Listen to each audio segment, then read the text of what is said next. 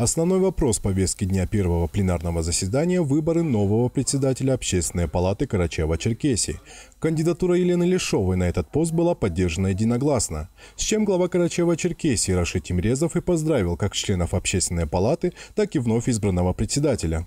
Хочу, во-первых, поздравить вас, Елена Владимировна. Хочу поздравить вас всех. Всегда э, считал и считаю, что Общественная палата республики – это тот институт, который активнее всего взаимодействует и с органами э, государственной власти, и с различными институтами э, гражданского общества. Новый состав будет в первую очередь работать на то, чтобы реализовывать гражданские инициативы и уверен, что вас, нового состава, конечно же, все а, получится. В свою очередь хочу вас заверить в том, что я лично, как руководитель региона, правительство Карачаево-Черкесской республики, парламент, главы муниципалитетов будут активно с вами а, взаимодействовать и в прежнем. Елена Владимировна Лешова – почетный работник образования России. Долгие годы работает руководителем Центра образования номер 11 в Черкеске. За ее плечами богатый жизненный опыт, трудовая и общественная деятельность, в том числе исполнение обязанностей депутата Народного собрания. Сама Елена Владимировна говорит, что возглавить общественную палату для нее одновременно и большая честь, и серьезная ответственность.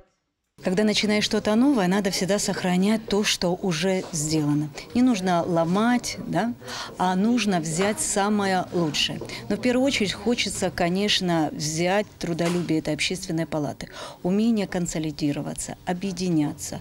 И, конечно, выслушать мнение всех общественных объединений, организаций, которые существуют в нашей Карачаево-Черкесии.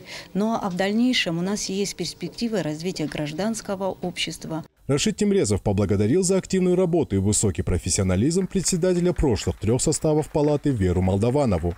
Под ее руководством Общественная палата стала действенным инструментом в системе взаимодействия гражданского общества и власти.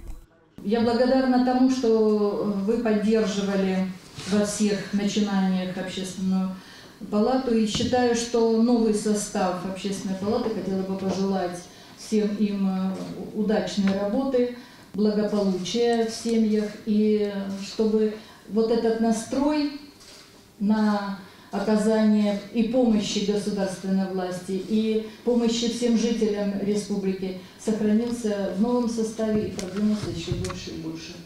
Глава Карачаева-Черкесии выразил уверенность, что общественная палата в обновленном составе и под руководством нового председателя будет, как и прежде, способствовать развитию Института гражданского общества, реализации гражданских инициатив и общественно-государственного диалога. Ренат Ибрагимов, Олег Малхожев, Архиз, 24.